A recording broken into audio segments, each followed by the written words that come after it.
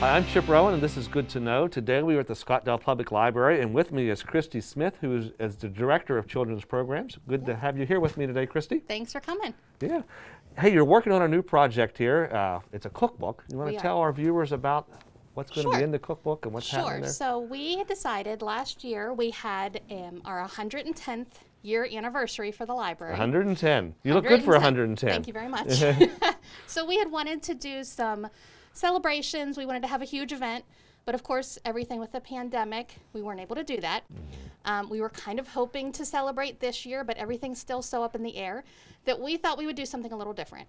So we decided to do a 111th year anniversary cookbook for the community. So we have been asking community le- members, businesses, families, um, people who used to live here, everybody to submit their favorite recipes, and we're combining them all to make a big cookbook to sell as a fundraiser. That's great. And the proceeds from this cookbook, how will they help the library? So we are going to use the bulk of the proceeds to help in our youth programming, specifically the teen and middle school programming.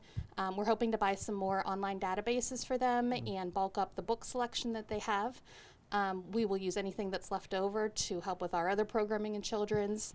Um, fundraising has been difficult. Uh-huh. Last year we had to cancel our basket bash, which brought in about $10,000. Wow, so that was a big, big loss in revenue. Huge loss, yes. So we are hoping, fingers crossed, that we can have it November this year. We usually have it the weekend of Veterans Day. Okay. Um, so we're, we're planning for it. I hope you can have it too. That's right. we are planning for it in hopes that we can do it. Yeah. So um, yeah, so this is just something a little extra, not only to like cheer people up with recipes, but to do a little fundraising for the Right. library. Well, it makes sense too. People are home. I think people are cooking more at home because they are home. So getting some new recipes would be nice. And you mentioned before uh, we started recording uh, that you got some almost celebrities that have submitted some. Uh, you want to talk a little bit about that? Sure, sure. So we, I reached out to a lot of people, Mm-hmm. um, and people in our community have connections. So we actually have some surprise recipes from um, a local newscaster. We have one from a professional um, coach, football coach, Okay. and pro Hall of Famer. Yeah. Um, and we also have one from QED. From QED hosts their cook show Uh-huh. that they have on Saturdays. We have one from them, and we have a couple other surprises. So we want it to be something that it's a cookbook, but you're also reading through it to see who all submitted and Right. what do they have to say about their recipes. I know some Armstrong people actually submitted some too. so there's several, some yes. so- some celebrities from Armstrong That's that have submitted some. We're Yeah. waiting for yours. That's right. Yeah, uh, I'm really good at eating. I'm not really good at cooking, but well, you I can send us your favorite recipe. there you eat. go. That's, I can do that. I'll make sure I look for that. Yes. It'd be something sweet. I can guarantee you that. There you go. How can people help? So there's several ways they can help. The easiest way is to send us a recipe. Mm-hmm. It doesn't have to be something that you cook every day. It can be your favorite thing to eat, like I just said. So send us your favorite recipe. We have gotten a lot of traditional cultural recipes, which is really neat to put in our cookbook. Mm-hmm. Um, and you can send them. You can do it as easily as snapping a picture of it Okay. and sending it to our email account. Okay. And then what is what is the email that they should send it to? Our email is easy. Okay. Scottdale Library at gmail.com. Scottdale Library at gmail.com. Yep, they can do that. They can drop off a copy. They can they can submit it however is easiest for them, and we will get it in the cookbook. Okay. So someone could drop it off here at the library too if they just want to drop a printed They copy. could. off? They could even put it in the book drop. Okay. Now you get all these recipes together. When do you think the book will be available? And, and We are hoping that it will be late spring. okay. So right currently, I have it up on my computer. We have 173 recipes Very entered, good. and we still have a pile to enter. Okay. So we're doing really well. Our goal was 200. We're going to surpass that. Well, yeah, because So, you're already yeah, 170 something. Yeah. So the bigger, the better. Yeah. Now, to, to purchase the book, just come to the library and they can and buy one here at the library? Yep, you can come to the library. We'll have tons of stuff on Facebook. We'll have it on our website. We'll probably do some sort of pre-order so that we know how many Mm-hmm. approximately to order. Um, so they can be looking for things like that on our website. And if you're out of town, is it possible to get one th- through the Oh yes. Okay. Yep, we will Okay. ship. We will. We'll make it happen. However okay. we have to. Do you have a price for the book yet?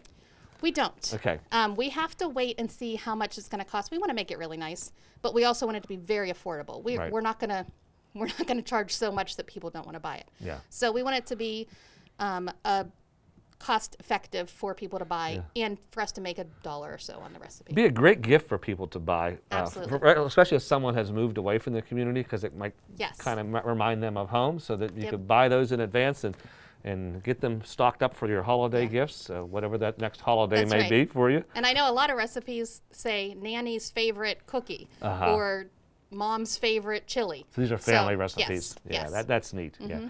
Now, uh, COVID nineteen has really changed you know, everything for the, the world, uh, but it's changed things here at the library too. You want to talk a little bit about some of your programming and adjusted hours and, and things that are happening here at the library? Sure. So adjusted hours, we are open on a limited basis, mostly because we um, we don't have as much staff as we used to right now.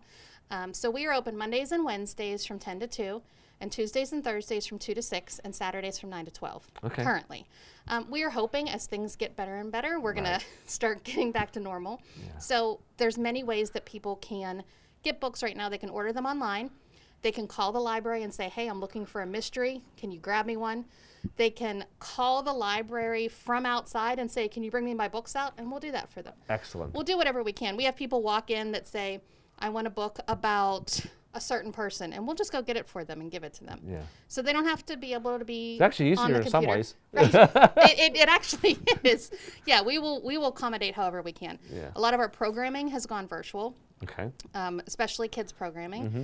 We're having story times on Zoom. We're, we're doing the month of February every Wednesday. And I had kids register, and then they picked up a backpack that had everything they would need for all four story times, even musical instruments and different things, so that we can all have the same stuff during the meeting and really interact with each other. And that information on those programs is, is on your website? It's on our website and Facebook. Yep. Okay, excellent. So they can find Yeah. that. Now you, you mentioned as you were talking, like you couldn't have your your event last year, and that was like ten thousand dollars. So, so this is really important. This cookbook to help provide some some Yeah. revenue for the for the library. Yeah, it will definitely help. And like I said, it's it's going to be a. a I'm not sure what we will get from it, but at least it will be another service to the community and a way to celebrate the library too. Yeah. Okay.